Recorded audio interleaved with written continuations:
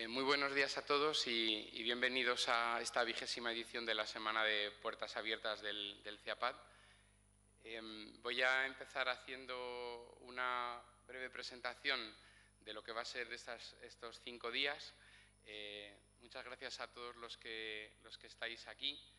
Em, mm, también un poco quisiera comentaros que pues el orden, digamos, protocolario ha sido así. Primero la presentación y las conferencias y después la inauguración oficial. Y, bueno, pues por este motivo mm, comenzamos de, esta forma. La Semana de Puertas Abiertas eh, tiene, digamos, como objetivo ser un punto de encuentro de ciudadanos con la sociedad, con la administración, con las fundaciones, con las asociaciones, con empresas y con el ámbito investigador. Eh, como sabéis, mm, nuestro centro hizo el año pasado 25 años y desde, entonces, desde sus inicios y hasta ahora, su misión ha sido esa, estar cerca de los ciudadanos a través de las tecnologías, promover la autonomía personal, la vida independiente, el diseño para todas las personas y esa es nuestra misión y, por tanto, pues el objetivo de, estas jornadas.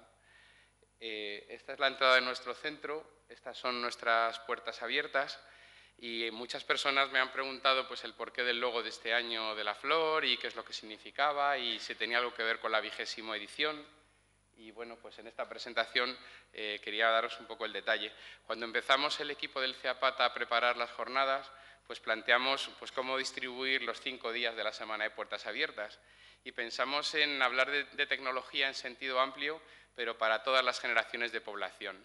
No plantearlo desde un punto de vista de tipos y grados de discapacidad, de niveles de dependencia, de otras formas, digamos, de división, sino sencillamente cinco generaciones de población, niños, adolescentes y jóvenes, eh, adultos, mayores y, digamos, muy mayores, que cada día se enfrentan a los diferentes retos del, cada día, eh, encontrando obstáculos y barreras y también catalizadores y promotores de la autonomía personal. Entonces, esta, digamos, intersección de esas cinco generaciones, eh, para, las cuales la accesibilidad, el diseño para todos, los productos de apoyo, las entidades públicas, las empresas, eh, las personas directamente y sus cuidadores y familiares, pues son la razón de ser del centro, de todos los que hoy nos reunimos, a quien, como digo, agradezco muchísimo vuestra presencia, y de ahí un poco esa intersección. Y como eran cinco generaciones, pues pensé que podíamos llamarle 5G. Eh, es una broma tecnológica. ¿no? 5G pues, eh, sería la banda ancha, pero es nuestra banda ancha de cubrir toda la población.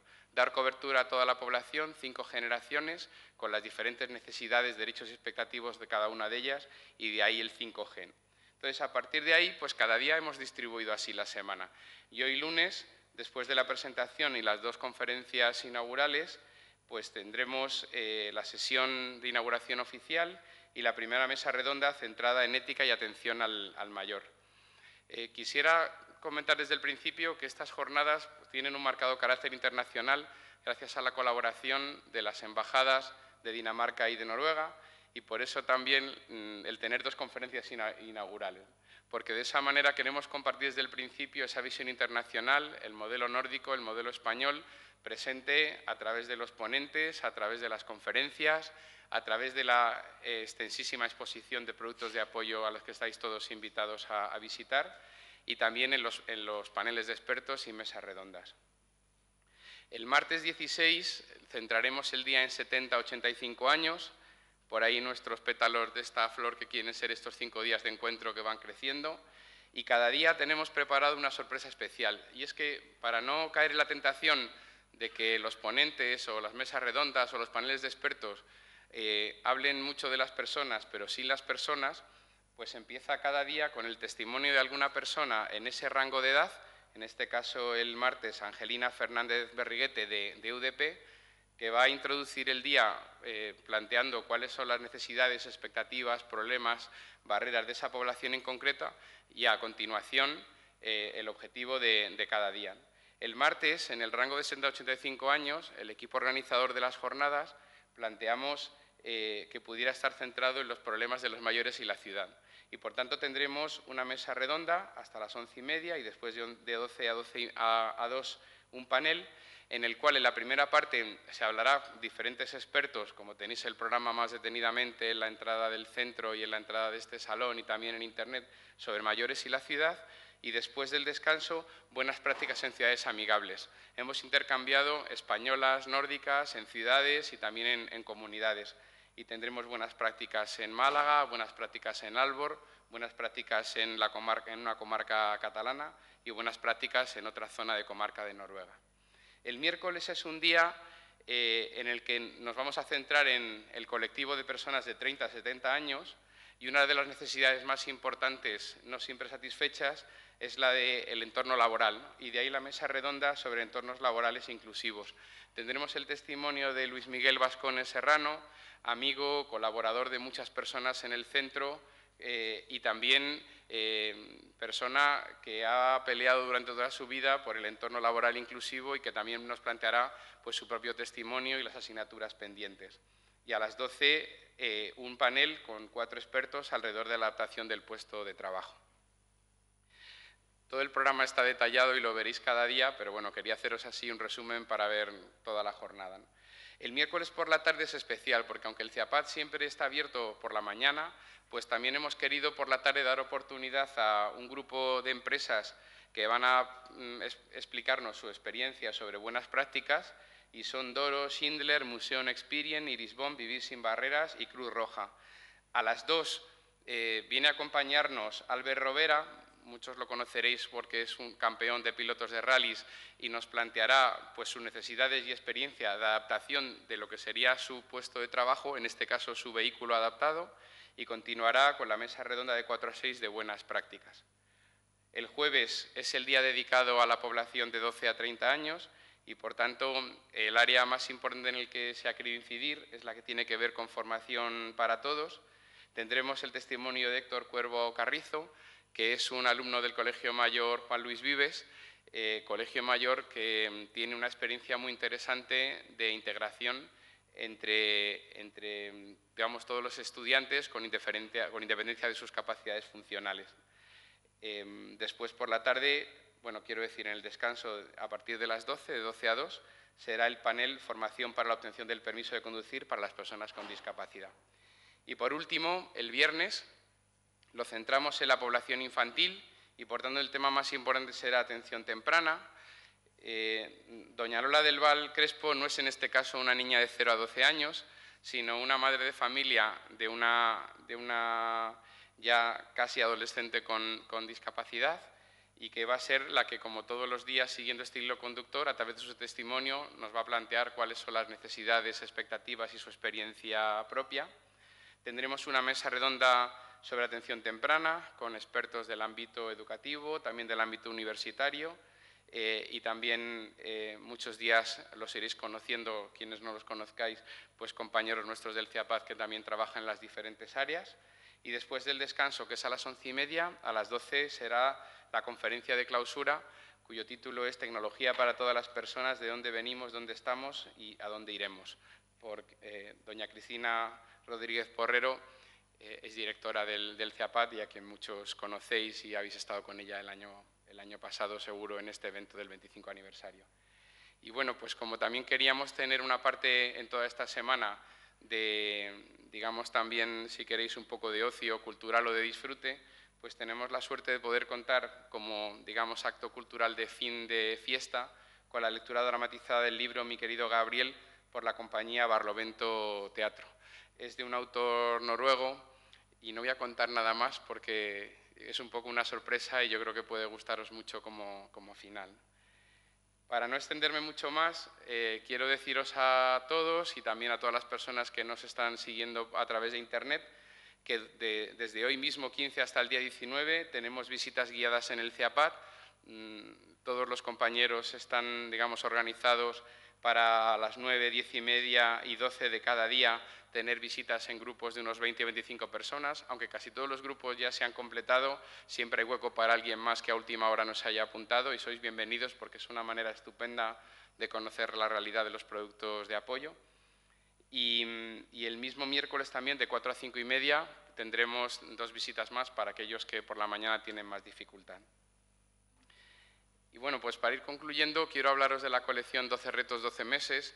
Eh, es un trabajo extenso de documentación eh, abierta que quiere compartir toda la experiencia, no solo del CIAPAD, sino de muchos otros eh, expertos, entidades públicas y privadas con las que colaboramos. Y como queremos que estos documentos gratuitos que están colgados en nuestra web los tengáis, estén a vuestra disposición, podáis conocerlos y podáis leerlos y podáis darnos realimentación y podáis aplicarlos incluso en vuestra vida diaria, pues en la, justamente en la entrada o en la salida, según lo veáis, hay una mesa donde tenéis marcapáginas con cada uno de esos retos.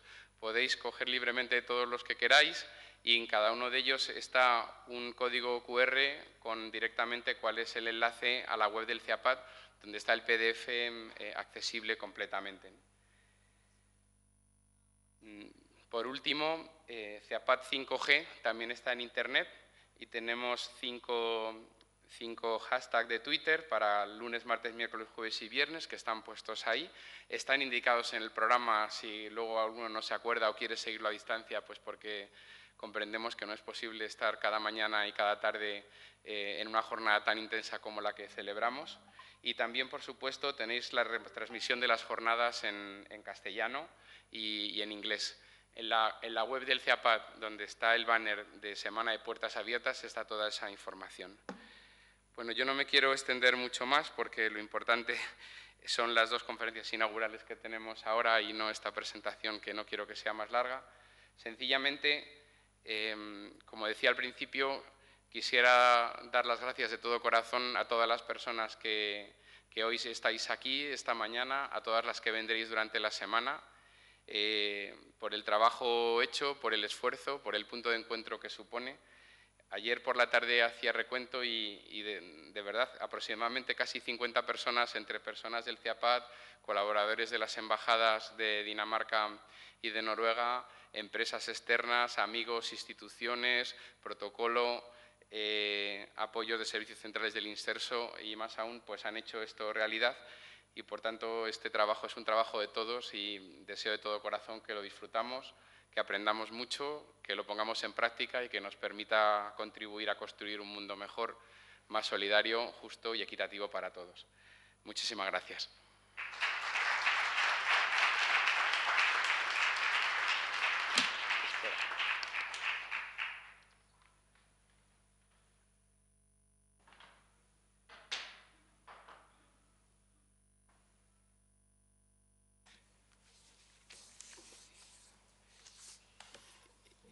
Y ahora pues damos paso a la primera conferencia, a la conferencia inaugural, eh, cuyo título es Los nuevos riesgos sociales desde la perspectiva nórdica y mediterránea, los casos de Noruega y España, que va mm, a hacer eh, doña Eloísa del Pino, científica titular del Consejo Superior de Investigaciones Científicas.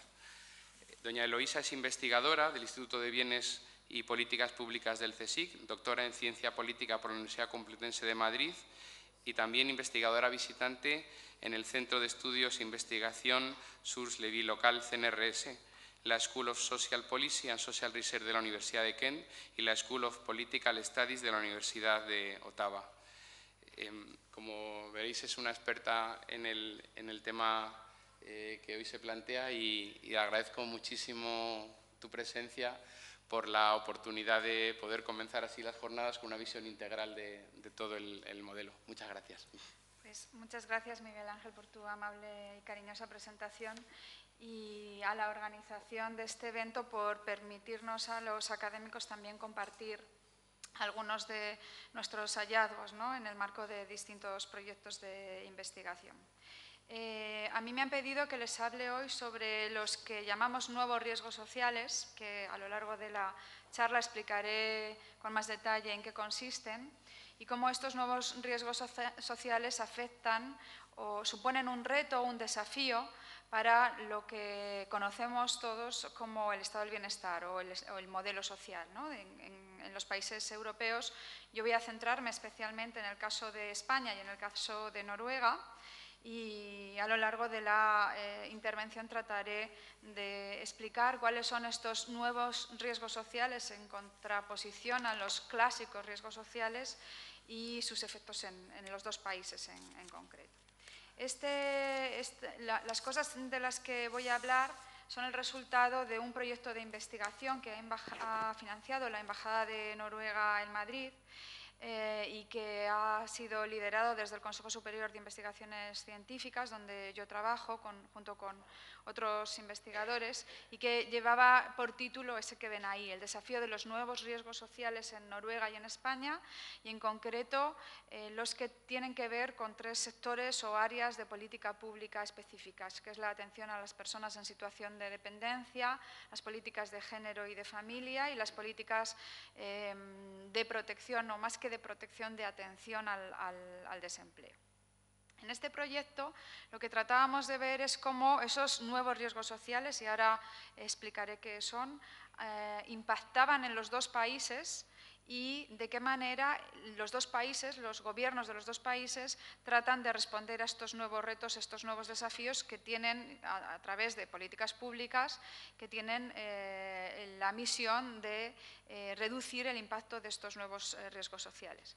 El, proyecto es muy interesante y al principio fue un reto también para nosotros porque pensamos, casi llegamos a pensar que Noruega y España son dos países que no se pueden comparar, ¿no? son dos países muy diferentes entre sí, no solamente en su tamaño, en su situación, historia sociopolítica, en que uno es miembro de la Unión Europea y otro no lo es, en que tienen son países que tienen eh, estado del bienestar, unas instituciones y políticas dirigidas a atender las necesidades sociales en los dos casos, pero que organizan la provisión del bienestar y la atención a los problemas sociales que tienen que ver con, con las situaciones de necesidad, y entiendo por situaciones de necesidad pues la vejez, la enfermedad, el desempleo, la ignorancia, la pobreza, etcétera, atienden esas situaciones de manera diversa, de manera diferente ¿no? a, a otros países a, otros países.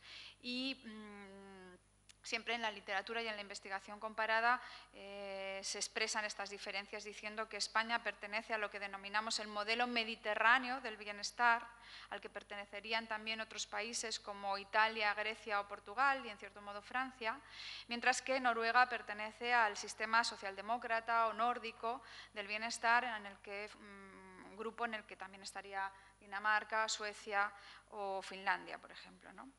Eh, es decir, que es verdad que ambos países tienen un sistema de bienestar, pero organizan la provisión del bienestar de manera ciertamente distinta. Y desde luego, eh, mientras que en el modelo mediterráneo la atención a las necesidades sociales es eh, extremadamente reciente, solamente apenas 30 años, en otros países europeos y eh, en los países nórdicos hay una más larga tradición de intervención del Estado para intentar solucionar estas necesidades o carencias de los ciudadanos.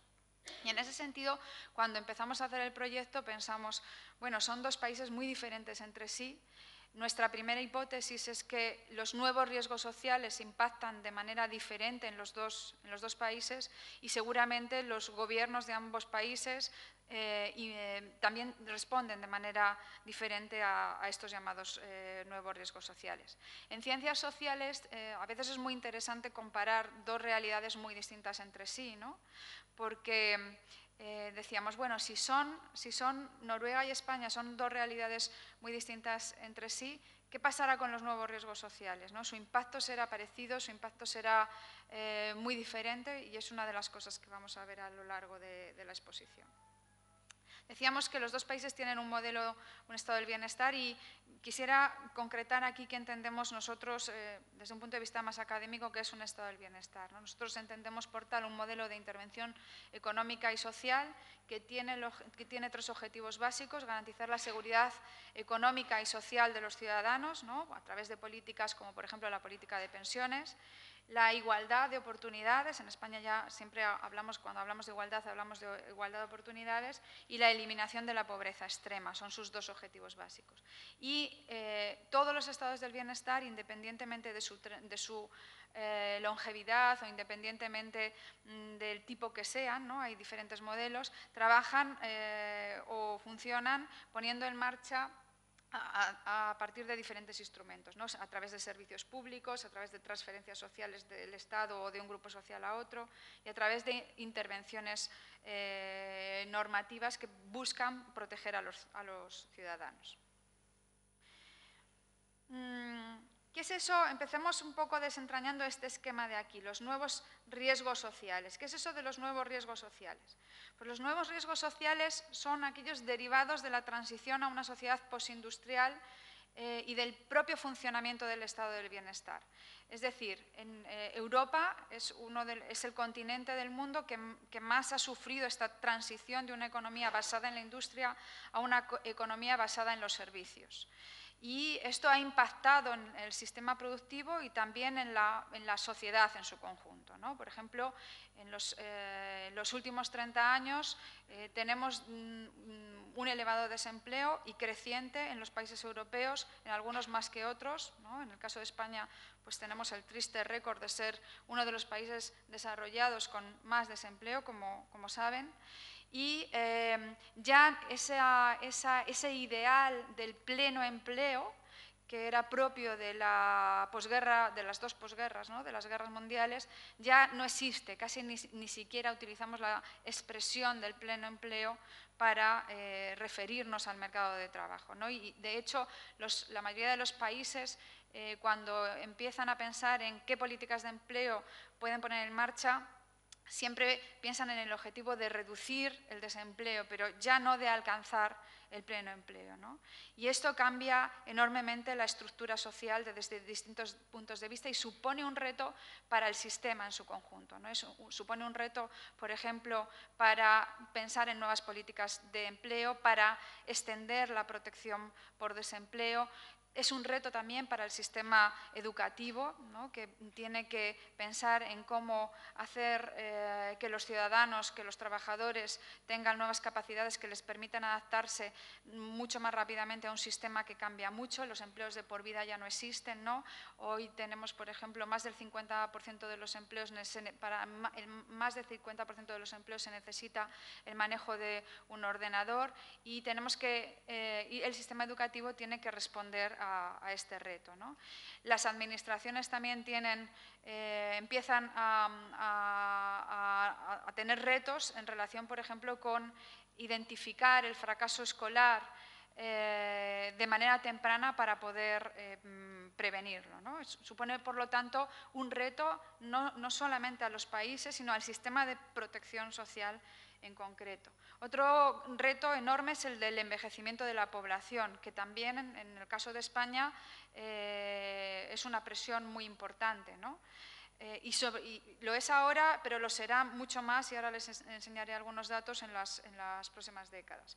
Otro gran desafío para el sistema en su conjunto y otra vez especialmente para el sistema de protección social es el cambiante rol de las mujeres. Y esto también afecta nuevamente más a España y a todos los sistemas mediterráneos del bienestar porque en estos países del sur de Europa las mujeres habían sido una pieza clave del cuidado, del cuidado de los niños, del cuidado de sus maridos, del cuidado de las personas en situación de dependencia y sin embargo, las mujeres se han incorporado de manera masiva al mundo del trabajo y algo tiene que cambiar. Las mujeres no pueden atender, aunque en palabras de, mi colega Luis Moreno, las, mujeres mediterráneas son las superwoman mediterráneas, ¿no? porque atienden al empleo, atienden, siguen atendiendo al cuidado, pero el sistema de protección tiene que, que cambiar. Y luego otro reto importante para todos nuestros países también, porque también en los países nórdicos ocurre, en los últimos años eh, se ha incrementado décadas, las dos últimas décadas en concreto, se ha incrementado la pobreza y la desigualdad. Pero nuevamente este nuevo riesgo social afecta de nuevo más a los países del sur que a los países del norte de Europa. Y ese es un poco el argumento que les quiero trasladar. todos nuestros países, eh, los países nórdicos, los países mediterráneos, por supuesto los del centro de Europa también y desde luego los países anglosajones, se ven desafiados por estos llamados nuevos riesgos sociales, pero la intensidad del desafío es mucho más grande, es enorme en los países del sur de Europa frente a los países del norte de Europa. Estos son algunos datos que les muestro. Esta es la tasa del desempleo desde, 2004 hasta 2013. Eh, la línea azul es España y cuál ha sido el impacto de la crisis en nuestro desempleo. La línea naranja es la Unión Europea a 28 y la línea roja es Noruega. Como ven, la crisis trae también un incremento del desempleo en Noruega, pero incomparable, incomparable en relación con los países eh, del sur de Europa y en concreto con España y con Grecia, que son los países con más desempleo. Otro de los eh, riesgos sociales que les mencionaba es el cambio del papel de las mujeres, y aquí también se ve claramente un, gran cambio. En España, en 2004, eh, la tasa de actividad femenina era del 60% y ahora estamos en un 73%, en Noruega de un 77% a un 79. ¿no? El papel de las mujeres, las mujeres se han incorporado masivamente al empleo. Y fíjense en este dato que está aquí arriba. Las mujeres eh, jóvenes en España, las mujeres eh, mayores, menores de 45 años, ya tenemos una tasa de actividad femenina del 73%, en Noruega del 79%, y entre las mujeres más mayores, eh, sin embargo, la diferencia era enorme. ¿no? Solo, la tasa de actividad femenina era un 38% y entre las mujeres mm, noruegas mayores es un 74%. ¿Esto qué significa? Pues que en muy pocos años España está casi a la misma altura en tasa de actividad femenina que las mujeres noruegas eh, y sin embargo las estructuras del cuidado no han cambiado del cuidado de, nuestros, de, las personas, de nuestros familiares que lo necesitan, no han cambiado eh, quizás todo lo que deberían haberlo hecho. Otro gran cambio y otra presión para ambos países es el envejecimiento de la población. Esta es la tasa de fecundidad eh, en algunos países de la OCDE. Este que ven aquí con una tasa de fecundidad de tres es Israel, es tres niños por mujer en edad fértil. Eh, de entre los países de la Unión Europea, quien tiene una tasa de fecundidad más elevada es Francia, con dos niños por mujer en edad fértil. Aquí está Noruega con 1,88 niños eh, por mujer en edad fértil. La media de la OCDE es 1,7 y España ha bajado en los últimos años. Y estos datos son de 2012 porque son los datos comparados eh, de la OCDE, pero ya tenemos datos para el caso español y estamos en 1,28, o sea, bajando todavía más. Somos el país más envejecido, uno de los países más envejecidos del planeta, no solamente de Europa, y volvemos, seguimos bajando nuestra, nuestra tasa. Esta es la esperanza de vida en Noruega y en España, que es muy similar España es este país que, ven aquí y tiene una esperanza de vida de más de 82 años. En el caso de Noruega, eh, un poco por debajo, 81 y, y varios meses, y cuatro meses en concreto.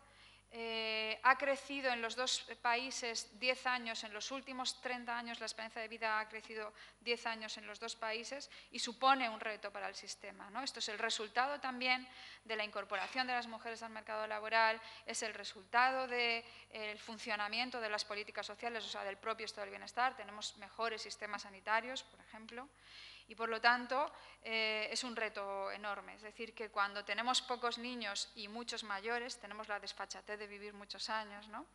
pues entonces eh, esto supone un, reto extraordinario para nuestro sistema de protección eh, social.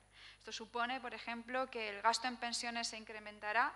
En verde ven la proyección del gasto en pensiones para 2040 y en azul el gasto en pensiones para el 2010. ¿no? El país que enfrenta un mayor reto es eh, el caso de Alemania, pero también Noruega eh, llegará a casi un 14% de su PIB en gasto en pensiones y lo mismo en España. Por supuesto, esto dependerá también de qué políticas en, este periodo intermedio entre 2015 y 2050 pongamos en marcha. ¿no? Las políticas públicas también pueden ayudarnos a eh, que tengamos menos, mejores perspectivas en términos de pensiones por supuesto, el, ratio de la dependencia también es eh, un, reto muy importante. En el caso de España, eh, eh, para mayores de 80 años, mm, pues es uno de los países del mundo, será uno de los países del mundo en comparación con otros de nuestro entorno con mayor ratio de personas en situación de dependencia otro de los retos, como les decía, otro de los nuevos riesgos sociales es el incremento de la desigualdad y de la pobreza. Está ocurriendo en todos nuestros países. Eh, la desigualdad y la pobreza em, se explican por varios factores. El primer factor que explica la desigualdad y la pobreza es la calidad del empleo. O sea, si tenemos eh, un alto desempleo o tenemos trabajos precarios a, a, tiempo parcial o temporales o con muy bajos salarios, entonces la pobreza crece. Las transferencias sociales y los servicios públicos del bienestar son capaces, tienen cierto impacto, como ahora les voy a mostrar, en reducir la pobreza. Mm, pero no son, no son capaces por sí solos de eliminar la pobreza. En los últimos años, en las últimas décadas, tanto el incremento del desempleo y la disminución de la calidad del empleo, como en cierto modo la, el retrenchment, ¿no? lo que llamamos, se traduciría en español como la retirada del estado del bienestar, ha provocado un incremento de la desigualdad y la pobreza, tengo que decir que en unos colectivos más que en otros. ¿no? Porque en el caso de Europa, eh, Europa supo responder muy bien a las necesidades de la población más mayor, a través de la política de pensiones primero y a través de las políticas de cuidado después, pero no ha sabido responder, no está sabiendo responder al reto que suponen eh, la desigualdad y la pobreza que afectan a las generaciones más jóvenes. ¿no? no hacemos nada o hacemos muy poco para atender la pobreza infantil y para ah, ayudar a los, a los jóvenes eh, y su inserción en el mercado laboral y a las familias con hijos. ¿no? Ahí estamos todavía, eh, nos ha superado la realidad, no hemos sabido responder a estas necesidades. Por ejemplo, aquí no está Noruega porque no es miembro de la Unión Europea, pero este es un índice que se presenta cada dos años, 2008, 2011, 2014, la última vez, acaba de salir ahora a, principios de 2015, y este es el índice de pobreza y exclusión social. España está en el puesto 19 de la Unión Europea en términos de pobreza y exclusión social, es decir, está mal, pero está mucho peor en términos de pobreza infantil. En términos de pobreza infantil, eh, ha crecido mucho en los últimos años, de, una tasa del 28,6 al 32,6. La pobreza, y esto quiero resaltarlo mucho, afecta el doble a los niños que a los mayores, un riesgo de un 27,3% frente a un 14% entre los mayores. Y también la privación severa de los niños en España eh, es mucho mayor que la de los mayores. De hecho, en protección a las personas mayores de 65 años somos el tercer país de Europa solamente el, cuarto país de Europa, solamente el Reino Unido, Finlandia y Suecia están mejor que nosotros y sin embargo en pobreza infantil somos el peor país de Europa o de los dos, junto con Rumanía, dos de los peores países de Europa. Quisiera en este foro también llamar la atención en ese sentido porque muchas veces nos olvidamos de colectivos que tienen mucha menos voz y mucho menos potencia electoral. Los mayores cada vez tienen más potencia electoral, pero los niños no la tienen. Eh, los dos países eh, responden de forma diferente a estos nuevos retos. ¿no? Recapitulo un poco. Los, nuevos retos de los que hemos estado hablando son el incremento del desempleo, la calidad o la disminución de la calidad del empleo, el envejecimiento de la población, eh, los retos que tienen que ver con el papel cambiante de las mujeres y la pobreza y la desigualdad eh, de la población, pero especialmente que los que se centran en los, colectivos más jóvenes. ¿Cómo responden los dos países a este conjunto de retos? Pues si ustedes miran el año 2005, justo antes de la, crisis, eh, lo que vemos es que España tenía un estado del bienestar mediano, ni muy grande ni muy pequeño. ¿no? siempre creemos que el estado del bienestar más potente es Suecia y en realidad el país que tiene más gasto social en porcentaje del PIB en los últimos años es Francia, ya desde hace unos años, desde que eh, eh, los suecos empezaron a recortar o a repensar su sistema del bienestar alrededor de 1995. España mm, tenía antes de la crisis un, antes de la crisis un 21% de, de, gasto social, un poco similar a, Noruega. Aquí la diferencia está claro en que este indicador no es perfecto y el PIB es mucho más elevado en Noruega que en el caso de España. A lo largo de la crisis, si ustedes ven estos datos, lo que ven es que curiosamente parece que ha aumentado el gasto social, ¿no? y de hecho lo ha hecho si lo medimos en porcentaje del PIB, pero el problema no es en realidad ha habido muchos recortes. ¿no? Se ha recortado la educación alrededor de un 17% en España, la sanidad alrededor de un 13% en España y cuento el gasto de las comunidades autónomas y del Estado y de los entes locales entre el inicio de la crisis y la actualidad, pero sin embargo, si lo medimos en porcentaje del PIB, al, haber caído mucho el PIB, nuestra capacidad de producir riqueza, al haber caído, parece que ha incrementado el gasto, pero en realidad ha disminuido. Eh, si lo vemos por eh, protección social per cápita, con paridad de poder adquisitivo, y he elegido el año 2010 para que no sea ni este último año ni el primer año de la crisis, aquí las diferencias son más sustantivas. Eh, el país que más gasta en protección social es Luxemburgo, es un país muy rico, como saben, y el segundo en la Unión Europea, perdón, en, Europa, no en la Unión Europea, es Noruega. Está aquí en segundo lugar, aquí verán esta, esta flecha roja. España estaba eh, en 2010 por debajo de la media eh, de la Unión Europea eh, en gasto social, ¿no? Nosotros los que hacemos políticas sociales solemos decir, no nos parecíamos a los países a los que nos gustaría parecernos. Em, otro indicador que nos da una idea de cómo es nuestro estado del bienestar en términos de, tamaño es el, empleo público, el tamaño del sector público. Y lo que vemos aquí también es que los países del norte de Europa, aquí abajo, lo pueden ver, y también aquí arriba, los países nórdicos son aquellos que tienen un, un tamaño del sector público más elevado, más grande, y aquí están los países de la Europa continental, Alemania, Francia, Luxemburgo, eh, los países del sur de Europa, el Reino Unido y Estados Unidos. Y como ven, los primeros cuatro puestos eh, están, en los primeros cuatro puestos están los países nórdicos. Claro, también hay que pagarlo. Si uno quiere tener un, buen sistema de protección social, por supuesto, hay que pagarlo. Y en España la presión fiscal es todavía eh, pequeña, incluso contando la última subida de impuestos en comparación con la presión fiscal en el resto de Europa y sobre todo en los países del norte de Europa. Como ven aquí, este es un gráfico sobre presión fiscal.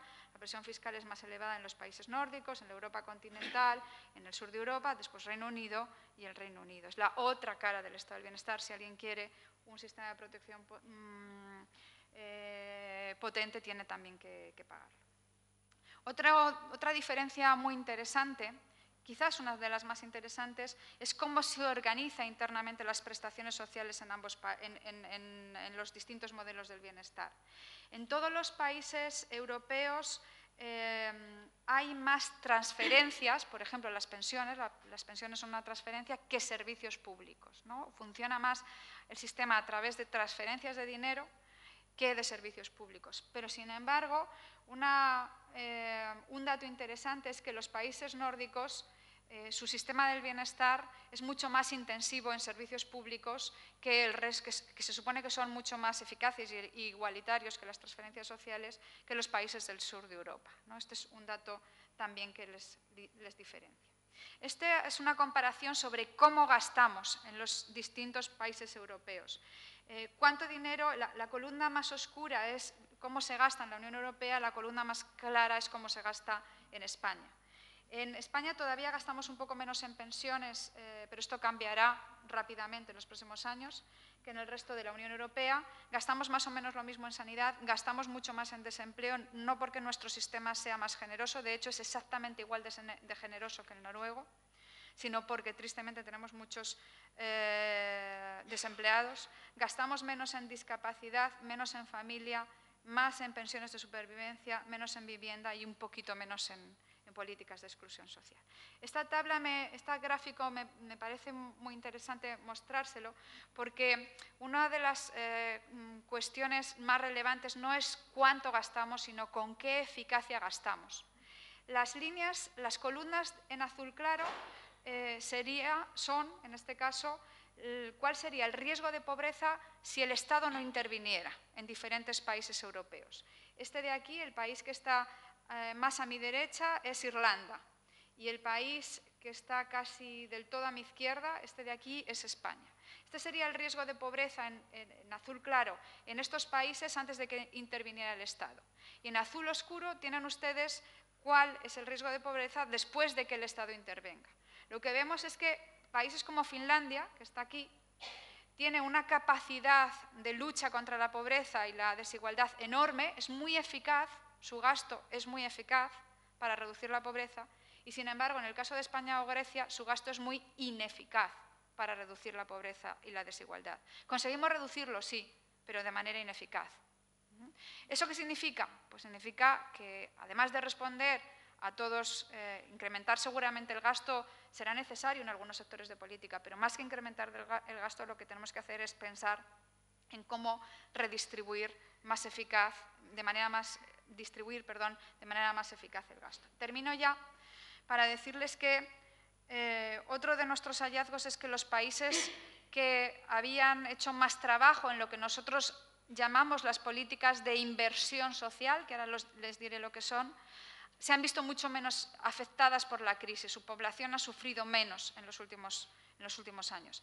¿Qué es la inversión social o qué es el paradigma de la inversión social?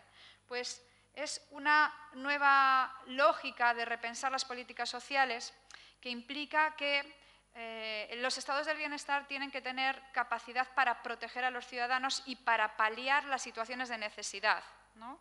Por supuesto, esta es una de sus funciones principales, pero la lógica de la inversión social introduce un nuevo elemento y es el elemento de la prevención. O sea, tenemos que pensar en políticas que sean capaces de prevenir más que de paliar. Por, supuesto, hay que hacerse cargo de los que ya sufren, pero tenemos que pensar también en políticas que sean capaces de prevenir. Y hay mucha evidencia empírica sobre cuáles son las políticas capaces de prevenir. Por ejemplo, sabemos que cuantos más años pasa un individuo en el sistema educativo, tiene muchas menos posibilidades de ser pobre. Pues entonces tendremos que pensar en políticas que incorporen pronto a los niños al sistema educativo y que les retengan en el sistema educativo hasta determinada edad. Otras políticas interesantes, las políticas activas de empleo son interesantes sobre todo en dos colectivos, que son mujeres y jóvenes. Pues tendemos, no cualquier política activa, algunas en concreto, ¿no? pero tenemos que pensar en ese tipo de políticas. Políticas de envejecimiento activo, eh, etcétera. Algunas eh, políticas en ese... Y, por supuesto, políticas regulativas también.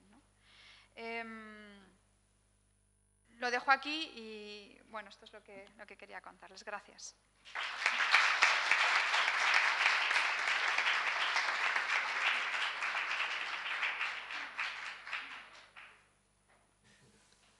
Muchísimas gracias, doña Loisa, por su interesante conferencia.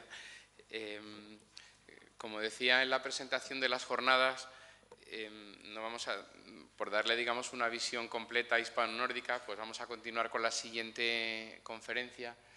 Eh, después mm, tendremos un ratillo de preguntas y sí quería comentar que eh, después, a continuación de la segunda ponencia, el café está previsto de once y media a 12 pero me han dicho que la inauguración oficial es a las 12, pero el ministro y las autoridades vendrán a las once y media, lo cual quiere decir que pido disculpas porque a las once y cuarto, once y veinte quizás me tenga que ausentar y estará mi compañera Cristina Larraz para moderar las dos las preguntas de la conferencia y después nos encontraremos todos a las once y media en el café con las autoridades que vamos a tomar el café juntos para la inauguración oficial de las doce.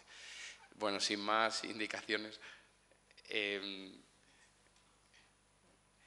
Vamos a, mm, a continuar con... No sé si tiene algún problema Mr. Denis.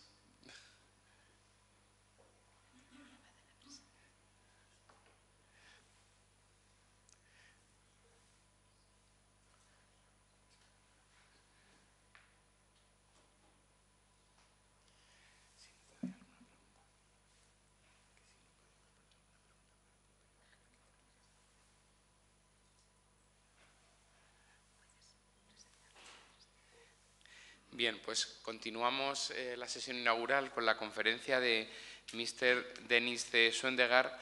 Eh, es director de proyecto Welfare Policy and Welfare Technologies del Nordic Center for Welfare and Social Issues y vamos a escuchar una conferencia muy interesante titulada Ayudas técnicas personales como herramienta para la innovación en los países nórdicos. Muchas gracias.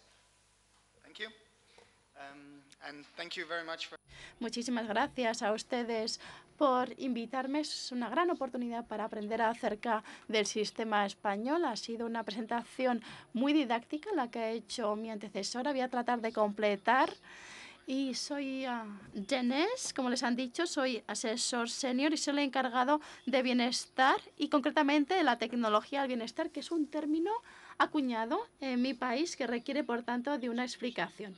Lo que voy a hacer es presentarles la organización para la que trabajo y después les hablaré Mm, de los orígenes de la tecnología al bienestar en los países nórdicos, cómo la utilizamos. Les hablaré concretamente de uno de los proyectos en ah, los que trabajamos en ah, los países nórdicos. En primer lugar, me gustaría decirles que procedo del Consejo Nórdico de Ministros, del Centro Nórdico de cuestiones de bienestar y sociales. Es como una especie de mini Unión Europea para los estados nórdicos, pero se remonta ya mucho tiempo eh, en la historia implica Dinamarca, Noruega, Suecia y Finlandia, además de Islandia, y cuenta con el Consejo Nórdico, así como el Consejo de Ministros Nórdicos. Hay una estrecha colaboración entre nosotros. Tenemos distintas instituciones que abarcan las distintas áreas y yo concretamente me encargo del bienestar y las cuestiones sociales y el objetivo general es reforzar la fortaleza internacional eh, de la región y hacerla más atractiva a nivel internacional. El Centro Nórdico de Bienestar y Asuntos Sociales trabaja en nombre de los cinco gobiernos nórdicos, identifica y actualiza los desafíos políticos del bienestar y también los desafíos sociales. Trabaja para después eh, proporcionar las bases para el proceso de toma de decisiones. La idea es que puedan comprender mejor eh, todo lo relativo a las cuestiones de bienestar y sociales y el objetivo es proporcionar valor añadido nórdico a través de la colaboración. Somos eh, cinco estados, pero hay diferencias entre nosotros. Noruega es un país muy rico por el petróleo que tiene. Ellos han ah, capeado mejor la crisis financiera que otros estados nórdicos y han abordado, por tanto, algunas ah, cuestiones sociales y de bienestar de forma diferente. Y tenemos que aprender los unos de los otros. De estas diferencias también nuestro objetivo es generar conocimiento, promover el desarrollo y garantizar un mejor diálogo entre los cinco países. En cuanto a las partes de interés, eh, estamos hablando de los políticos, los legisladores, los profesionales y de cara a las cuestiones sociales y los bienes, el bienestar es muy importante implicar también a las organizaciones de usuarios. Estos son los grupos objetivo. Aquí tienen nuestro organigrama del Centro Nórdico de Asuntos Sociales y del Bienestar. Tenemos cinco áreas que ah, em, se integran dentro de lo que es el modelo de bienestar nórdico. Estas cinco áreas corresponden a los cinco pilares. Por un lado tenemos la política del bienestar, sobre todo política familiar, política para los ancianos. Luego tenemos el pilar de la discapacidad, es decir, todos los ámbitos relativos a la discapacidad. Tenemos un consejo nórdico de la discapacidad tenemos un tercer pilar, que es el del alcohol y la investigación en materia de drogas. Tratamos de proporcionar información al gobierno eh, con respecto a las distintas cuestiones relativas al alcohol y las drogas. A continuación tenemos la tecnología del bienestar, de la que yo soy responsable. Tratamos de lanzar iniciativas y proyectos para fomentar la cooperación y la puesta en práctica de la tecnología del bienestar. Y el quinto ámbito es el relativo al empleo y la inclusión, es decir, qué hacer para prevenir el desempleo laboral y garantizar su integración en el mercado laboral. Estos son los cinco grandes pilares que demuestran bien la importancia de las tecnologías de la bienestar. Es un ámbito eh, que ha sido identificado como prioritario por nuestros eh, políticos tanto que somos un pilar en sí mismo de este modelo. La tecnología del bienestar es un término que ha sido acuñado en Dinamarca. En realidad no es inglés de verdad, sino que es un término paraguas eh, que hemos creado nosotros y siempre que viajamos al extranjero lo tenemos que explicar. Así que aunque utilizamos dos palabras en inglés, lo cierto es que solamente se puede entender desde la perspectiva nórdica, puesto que lo hemos acuñado nosotros.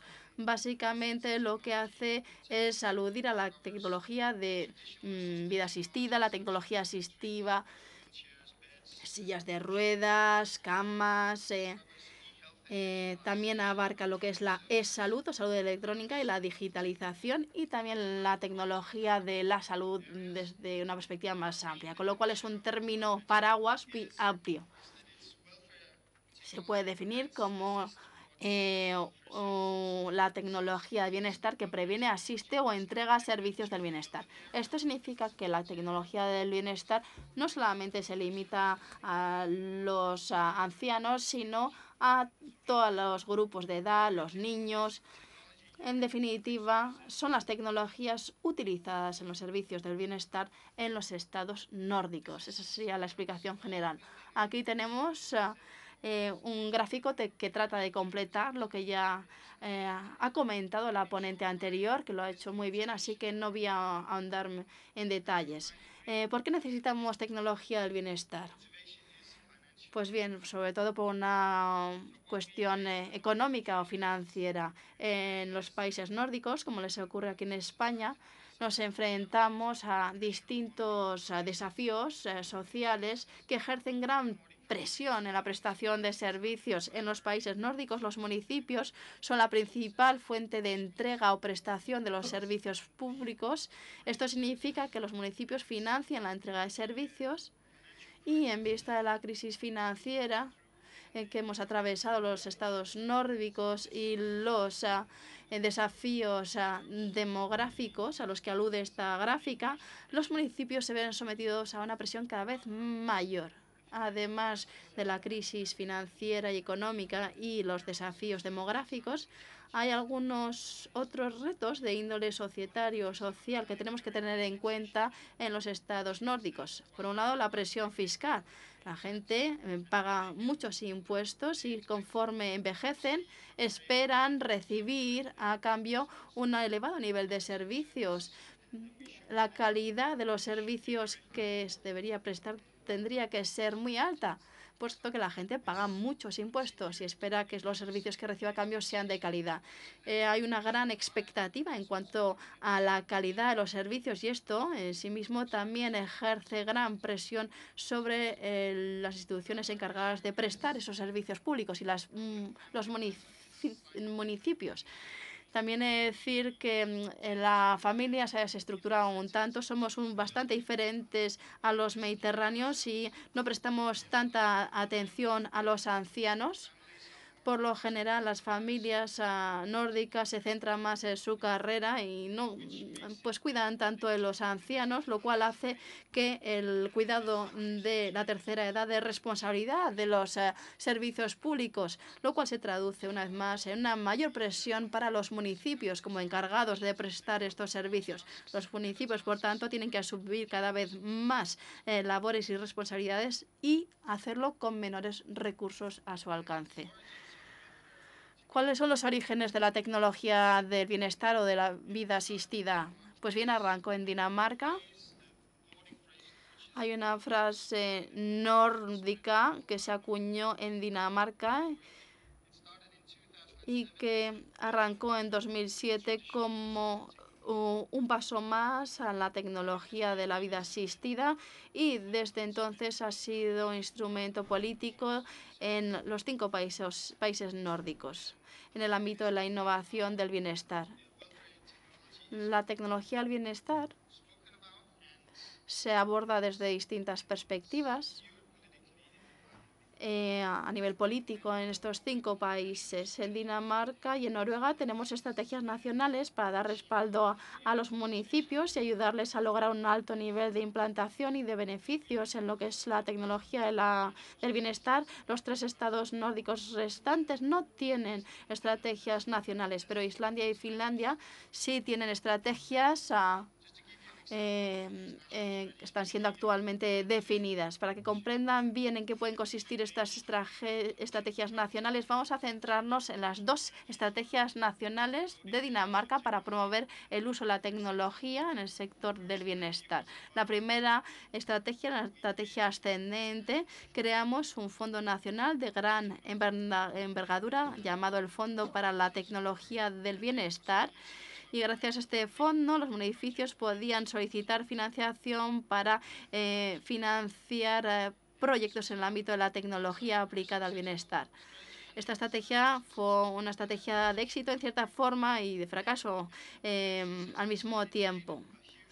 Ah, por un lado, generó gran demanda para las tecnologías de la, del bienestar, eh, motivó a los agentes, fueron muchos los municipios que expresaban su interés la tecnología del bienestar y empezaban a destinar sus propios fondos a Em, bueno, ofrecer esta tecnología. Generó interés y motivación. Pero desde el punto de vista negativo, 75 eh, proyectos fueron financiados, pero solo 5 de los proyectos eran proyectos de calidad. Así que 70, la verdad, que no reunían los estándares. En cualquier caso, pues se generó un gran interés por trabajar en el ámbito de la tecnología del bienestar. Y luego hay una nueva estrategia nacional, más reciente, del 2013, que es descendente. Eh, y desde eh, bueno, teniendo en cuenta que la primera estrategia nos sirvió para motivar y generar interés y se comprendió el potencial que ofrecía la tecnología al bienestar. Y con la nueva estrategia, pues se comprendió que existía ese potencial que funcionaba, que si se implanta la tecnología se puede garantizar una mayor calidad con menores recursos. Así que ahora con la nueva, la nueva estrategia, la idea es que todos los municipios daneses eh, implanten un total de cuatro tecnologías y el potencial de ahorros es de 500 eh, millones de eh, coronas daneses. Es una estrategia descendente que básicamente les dice a los municipios lo que han de hacer. En Noruega adoptaron una ruta diferente, crearon un eh, gran programa nacional de inversión en tecnología de asistencia y en el futuro queremos que va a abarcar a muchos más eh, municipios puesto que Noruega tiene un gran número de municipios muy pequeños. Este es un tema del que hablaremos más adelante, pero en general hay, un, eh, hay mucho interés en este tipo de tecnología en todos estos países. Eh, parece ser la manera de innovar en ese tipo de servicios y de mantener el mismo nivel de calidad mm, sin aumentar los costos. Así que ¿Por qué consideramos que este es un ámbito en el que deberíamos cooperar con los eh, otros países nórdicos? Como ya dije, la crisis no ha afectado en gran tanto a Noruega como a los eh, países vecinos, pero nos encontramos con desafíos demográficos parecidos y también de desigualdad entre los municipios, algunos municipios siendo mucho más ricos que otros, lo que ocasiona problemas a la hora de prestar los servicios. Sin embargo, eh, de los desafíos demográficos es Finlandia el que está sufriendo más ese impacto del cambio demográfico. Tenemos sistemas de sanidad parecidos, valores sociales también parecidos. Como ya hemos visto antes, tenemos... Eh, tenemos un objetivo muy claro eh, social eh, en lo que se refiere a garantizar la igualdad entre nuestros ciudadanos, lo cual nos coloca en una posición adecuada para colaborar en este ámbito. Bien. En cuanto yo soy el responsable del área de tecnología, como ya he dicho. Eh, nosotros eh, tenemos una dotación presupuestaria propia y eh, llevamos a cabo muchos proyectos e iniciativas. También compartimos muchos conocimientos, publicaciones. Desgraciadamente, la mayor parte de ellas no están traducidas, algunas sí al inglés. Pueden encontrarlas en nuestra página web. Aquí eh, he añadido una lista de las distintas publicaciones que hemos hecho al respecto. Este año vamos a ver hablar de cómo introducir las nuevas tecnologías en el ámbito de los cuidados a la dependencia. Y también vamos a publicar una serie de documentos sobre cómo estandarizar la tecnología utilizando las mismas plataformas tecnológicas. También nos eh, estamos concentrando en la demencia. Eh, se trata de una de las enfermedades crónicas eh, de mayor prevalencia en los países nórdicos y estamos tratando de ver cómo las tecnologías asistidas pueden contribuir a solucionar o abordar este problema. Y También quiero hablarles del proyecto Connect-T. El proyecto Connect eh, eh, pretende aumentar el nivel de competencia de los municipios, de nuestros 300 municipios entre los cinco países.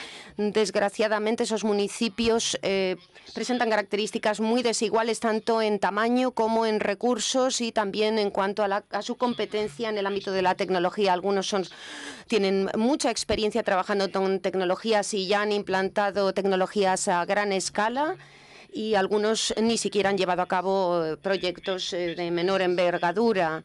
De modo que nosotros queremos compartir con todos ellos nuestras mejores prácticas. Primero tenemos que definir cuáles son esas mejores prácticas y luego compartirlas con ellos para poder facilitar la implantación de nuevas tecnologías y que nuestros vecinos no repitan los errores que ya hemos cometido nosotros. Y uno de los problemas que hemos identificado es, que a pesar del interés que existe en trabajar con estas tecnologías, hay una multitud de proyectos que comienzan una vez completados. No sabemos exactamente qué hacer con los resultados de ese proyecto, por lo tanto, se pasa al nuevo proyecto. Y esto es eh, un eh, problema que hemos identificado en toda la región nórdica. Muchos proyectos, pero pocos resultados. De modo que consideramos que esto es una manera poco eficaz de invertir nuestros recursos. Lo que tenemos que hacer con estos proyectos es incorporarlo a la organización de nuestros municipios y aprovechar las lecciones aprendidas y garantizar eh, y facilitar la implantación de las tecnologías. Otra de las cosas que queremos estudiar es cómo compartir mejor nuestro conocimiento y nuestras experiencias eh, con el uso de tecnologías eh, de asistidas. Este ha sido eh, uno de los objetivos que nos hemos planteado este año Creo que el 75% de los municipios quieren implantar estas tecnologías y convertirse en líderes eh, en Europa. De modo que para poder conseguir este objetivo tenemos que saber cómo compartir los conocimientos y las experiencias. ¿Qué vamos a hacer? Vamos a tratar de crear un manual eh, para trabajar con tecnologías del bienestar para poder garantizar el éxito de la implantación, lo que queremos es intensificar esos procesos de trabajo con tecnologías del bienestar y para ello queremos eh, definir una especie de toolkit, de kit de herramientas para la implantación de estas tecnologías. Queremos eh, que sea un proyecto ascendente. Vamos a seleccionar a 10 ayuntamientos de estos cinco países nórdicos Y eh, por último, en la segunda fase de este proyecto lo que pretendemos es recabar conocimientos Queremos eh, elegir a los 10 ayuntamientos punteros en las cinco regiones. Eh, queremos que compartan con nosotros su experiencia en la implantación de tecnologías. Vamos a publicar un informe eh, para que eh, aquellos países que no hayan adoptado una estrategia nacional lo hagan y cuando decidan hacerlo puedan, gracias a ese informe, ver dónde están las áreas problemáticas, dónde deben de concentrar sus esfuerzos y eh, de ese modo aumentar la eficiencia en el uso de las tecnologías del bienestar. Este es el proceso de nueve pasos que hemos establecido durante el primer año del proyecto Connect. El proceso incluye crear una visión, una estrategia, un plan de comunicación, una evaluación de las necesidades eh, hacer una evaluación de cuáles son las tecnologías disponibles en el mercado, eh, adoptar un modelo de adquisición, de aplicación de la tecnología y de monitorización. Eh, nosotros pretendemos eh, crear un kit de herramientas para implantar estas tecnologías eh, para eh, recordar a los ayuntamientos cuáles son eh, aquellos elementos en los que hay que centrarse, cómo garantizar que el personal en los ayuntamientos se apropia del proyecto. Algunos pasos van a ser más generales que otros. Obviamente la visión y la estrategia es parte de cualquier proyecto de innovación. Esos van a ser pasos más genéricos. En cuanto a la evaluación de las necesidades y los modelos de implantación, eso va a ser más específico de las tecnologías del bienestar. Y estos son los ayuntamientos que van a participar en el proyecto Connect. No voy a eh, eh, detenerme aquí, pero eh, son ayuntamientos que se encuentran en Suecia, Dinamarca, Noruega, Finlandia e Islandia. La razón de que las autoridades nacionales hayan estado, hayan participado en la elección de estos ayuntamientos es para evitar cualquier sesgo eh, a la hora de designar a esos municipios. Obviamente hay ayuntamientos de mayor y menor tamaño y con mayores y menores recursos. De modo que para garantizar eh, que eh, podamos servir a toda esa variedad de municipios, hemos querido escoger ayuntamientos que sean representativos de los 1.200 ayuntamientos en los cinco países. Nuestros objetivos es crear un proceso validado para eh, todos los países nórdicos donde vamos a implantar estas tecnologías, así como un, una caja de herramientas que permita facilitar la implantación de la tecnología y que ah, eh, y por supuesto crear los medios que nos permitan compartir los conocimientos y luego poder realizar una evaluación de los resultados del proyecto. Y también queremos eh, eh, fortalecer el mercado común de la tecnología en los países nórdicos. Nosotros ya tenemos un mercado de tecnología mm, de la asistencia, de la vida asistida. Y lo que queremos es introducir tecnologías más electrónicas o digitales y que sean comunes a todos los países. Y queremos, por lo tanto, abrir un nicho de mercado en nuestros países, dado que nuestros cinco países son bastante pequeños. Obviamente, el tamaño de nuestro mercado también va a ser pequeño y nosotros queremos que aumente y que eh, cubra a 26 millones de consumidores, de modo que esperamos que eh, con ello podamos incentivar a las empresas y Queremos, eh, por lo tanto, eh, aumentar la calidad de las tecnologías y rebajar el coste de las mismas. Este proyecto eh,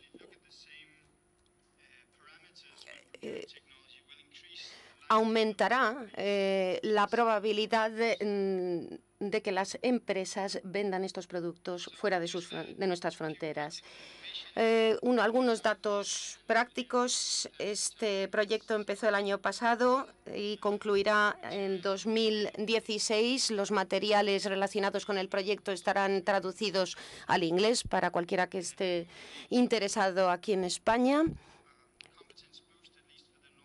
Y esperamos mm, poder implantarlo en todos los ayuntamientos de nuestros países y aumentar con él la confianza de los usuarios y del sector público en este tipo de tecnologías. Quiero mencionar brevemente otro proyecto antes de terminar mi ponencia, ese proyecto del que quería hablar es un think tank eh, que con, compuesto por 10 expertos de la región nórdica, una especie de centro de estudios. Yo formo parte también de este consejo. Nos reunimos dos, tres veces al año y debatimos eh, temas eh, relacionados con la tecnología del bienestar. También publicamos un boletín que traducimos al inglés y este boletín contiene recomendaciones sobre cómo resolver eh, eh, ciertos problemas, como por ejemplo el año pasado la implantación de tecnologías a gran escala. nosotros sugerimos soluciones de políticas a estos problemas y compartimos nuestras conclusiones con eh, autoridades públicas y organizaciones de usuarios. Este año vamos a debatir eh, acerca del fortalecimiento del mercado común nórdico, el mercado de la tecnología del bienestar y compartiremos nuestros hallazgos con los ministros de los países nórdicos. Eh, bien, creo que esto es lo que venía a compartir con ustedes. Muchísimas gracias por su atención.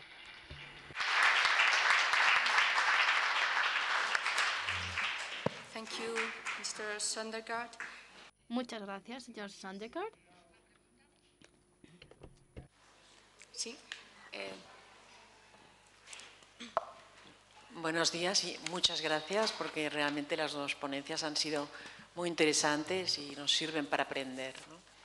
A la doctora Del Pino me gustaría preguntarle, cuando hacen eh, todo lo que es la investigación sobre envejecimiento, si hoy en día ya distinguen entre lo que es el envejecimiento de personas con un buen mantenimiento, porque realmente el coste del envejecimiento, aparte de las pensiones, son las enfermedades crónicas. Por eso la prevención principalmente. Si ya pueden hacer esta diferenciación entre un envejecimiento y otro. Y al doctor me gustaría preguntarle de estos programas específicos que tienen, alguno de los programas. Por ejemplo, nosotros trabajamos mucho en tecnología con la memoria o en tecnología para saber el peso de los cuidados en un área determinada para asignar los profesionales necesarios. O, por ejemplo, últimamente hablan de los trajes aquellos para los tetraplégicos. O sea, ¿qué tipo de programas, si me puede explicar alguno?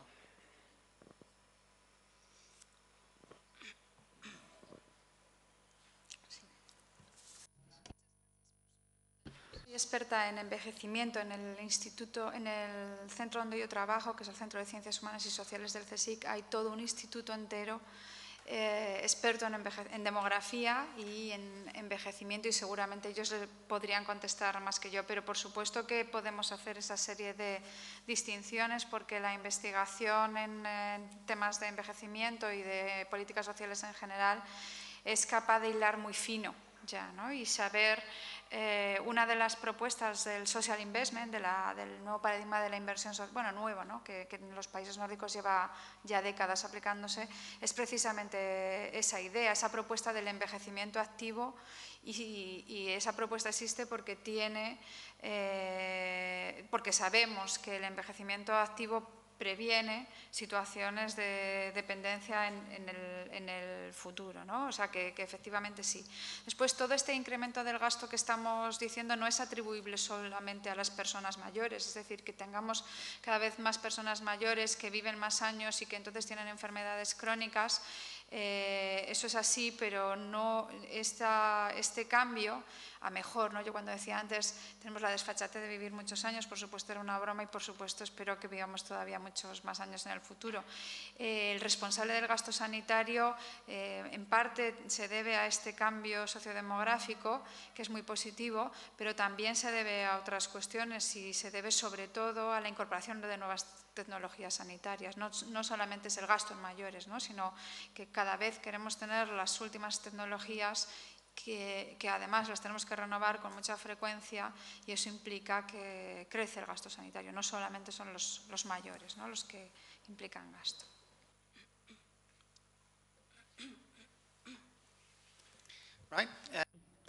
Muchísimas gracias.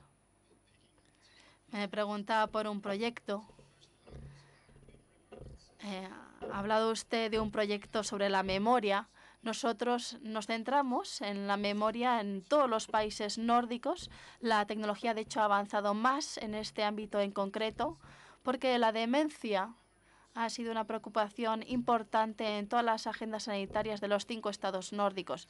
El Consejo de Ministros nórdico ha creado una red para trabajar eh, y abordar la demencia que implica a los cinco países, a las autoridades públicas de estos cinco países. Y hay un grupo de trabajo que eh, estudia cómo puede la tecnología asistir a las personas en todas las fases de la enfermedad, de la demencia. Yo trabajo como parte de ese grupo y hemos identificado la necesidad de aplicar la tecnología en una fase temprana, tan pronto como sea posible, en cuanto se desarrolla la demencia para que la tecnología pueda acompañar al individuo con la evolución de la enfermedad.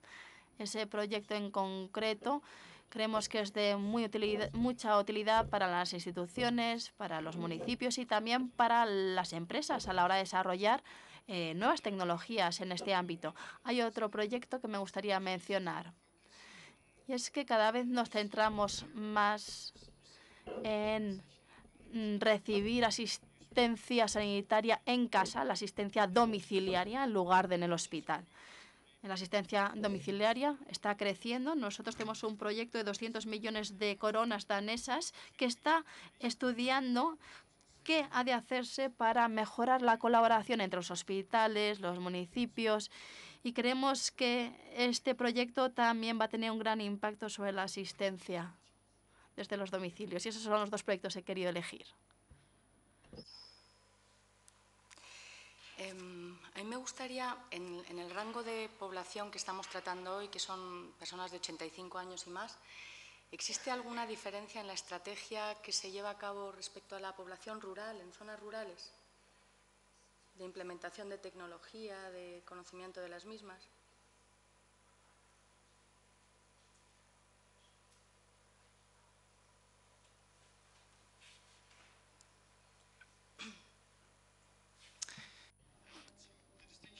La distinción la hacemos en función del municipio donde vivan. En Dinamarca, los municipios son responsables de todos los servicios y hay que priorizar qué tipo de tecnología eh, se aplica. Y son los municipios quienes deciden. En, los ayuntamientos con más población, algunas tecnologías se priorizan más que otras por ejemplo, las tecnologías eh, que mm, eh, reduzcan el número de visitas del sector público, es decir, aumentar la autonomía.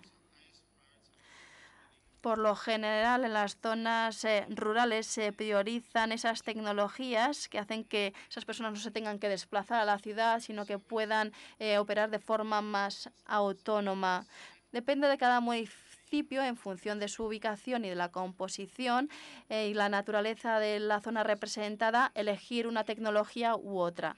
Evidentemente varía mucho la situación de Dinamarca, que es un país pequeño, a Suecia o Noruega, que son países más grandes, si se comparan con... Eh, Dinamarca y hay muchas zonas montañosas en eh, Suecia y Noruega y ellos tienen un enfoque diferente. Ellos apuestan por la telemedicina para evitar el coste de la prestación de los servicios. Así que varían mucho las ah, tecnologías que se priorizan en función del lugar y de la naturaleza de cada municipio. Gracias. Yo quería hacer una pregunta tanto a Denis como a Loisa sobre eh, el apoyo al pago de impuestos. ¿no? Hemos visto también que una de las presiones que tiene el sistema ¿no?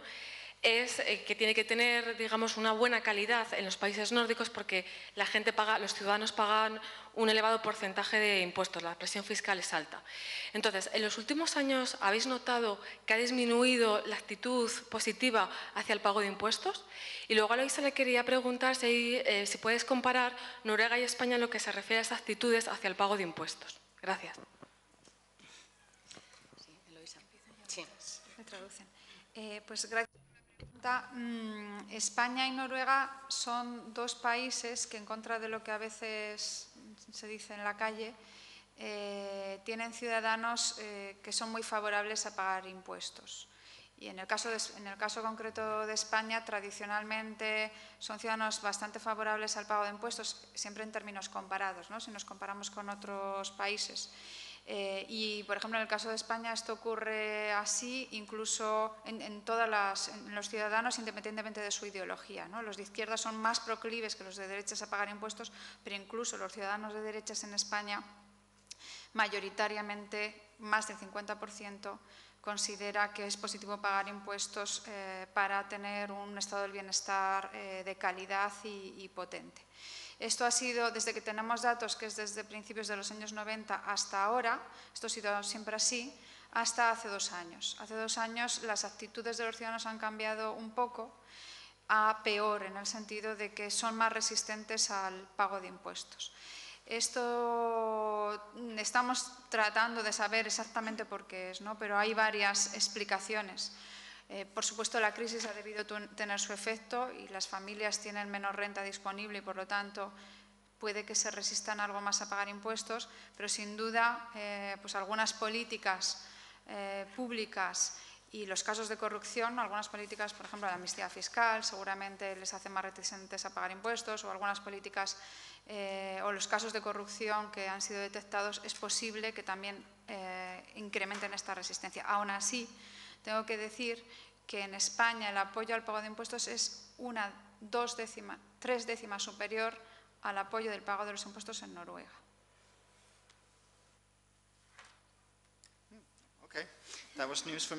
Mm, bueno, yo no sabía, este, no conocía este dato. En general, el estado del bienestar nórdico que garantiza la sanidad para todo eh, goza de la mayor mm, consideración por parte de la población de los países nórdicos y eso eh, obviamente forma esto significa que los nórdicos están más que dispuestos a aceptar eh, una alta imposición a cambio.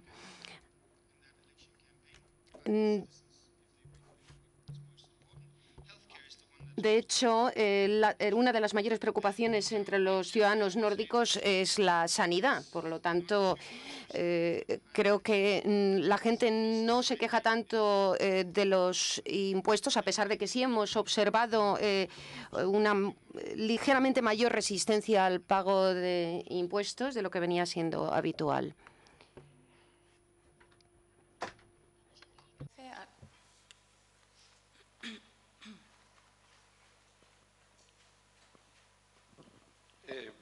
Buenos días. Eh, ¿Hago la pregunta en inglés o en español? En español, mejor. Ok. Ah, eh, sí, he estado oyendo hablar acerca de eh, las políticas de ayuda a la vejez y de ayuda del cuidado de la salud y concretamente estos proyectos enfocados hacia el tratamiento de la demencia que parece ser un problema importante en los países nórdicos. Pero acerca de la discapacidad, a mí me gustaría saber si hay focalizaciones eh, eh, hacia, hacia, la integración laboral de las personas con discapacidad en estos programas y hacia eh, la calidad de vida y la facilidad de, acceso, ya sea en el hogar, ya sea en el medio externo. entiendo que que esta focalización de, proyectos hacia políticas municipales lo aproxima al ciudadano, ¿eh? pero me gustaría saber en qué medida está contemplado el tratamiento de la discapacidad eh, para facilitar la calidad de vida de las personas con discapacidad. Eh, bueno, yo no sé muchos detalles, pero sí la tendencia general. La tendencia general en Europa eh, quizás con la salvedad de España y algunos países del sur, pero en los últimos años es eh, lo que se llama el bienestar sin, no hay bienestar sin trabajo, esta idea de no hay bienestar sin trabajo.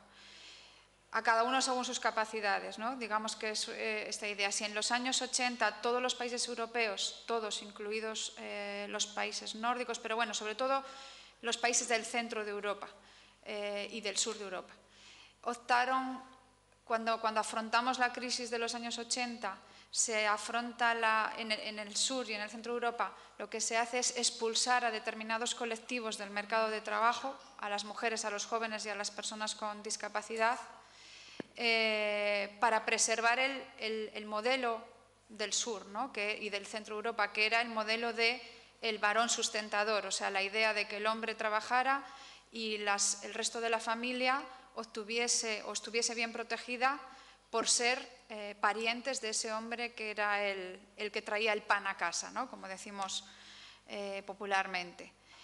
Eh, entonces se expulsa a estos colectivos a través de políticas fiscales, de incrementar, por ejemplo, la etapa los años que uno estaba estudiando, la etapa estudiantil, o a través de generosas prestaciones para las personas con discapacidad, lo que se hace es expulsar del mercado de trabajo. Pues ahora la tendencia es justo la contraria en el caso de los países europeos.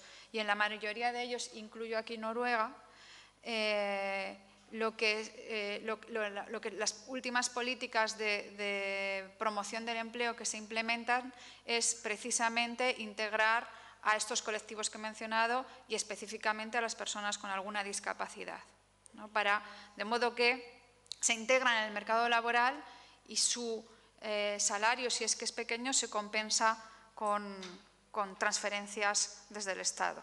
Pero sí es una tendencia generalizada en todos los países europeos bajo esta lógica que les señalo de no hay bienestar sin trabajo.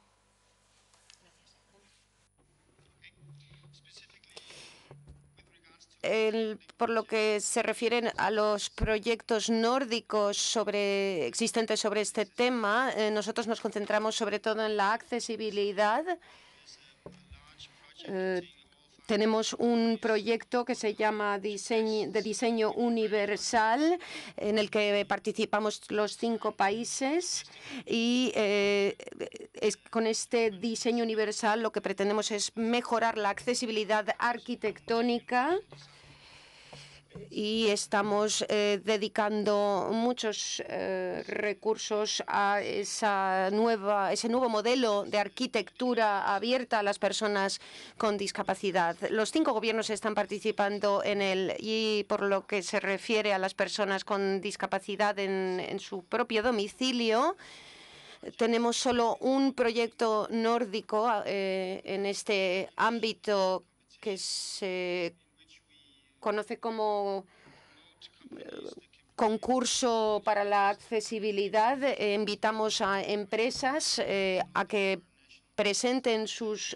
soluciones y hay varias iniciativas de ámbito nacionalidad en este sentido para dotar de autonomía a las personas de, con discapacidad, especialmente en Noruega y Suecia hay grandes programas de ámbito nacional para incluir eh, integrar a las personas con discapacidad en el mercado de trabajo eh, forma parte, desde luego, de la agenda política de los países nórdicos. Bueno, pues eh, damos por concluida esta mesa que ha sido muy interesante. Muchísimas gracias, Eloisa. Thank you very much, Denis. Pasamos a tomar el café. Gracias.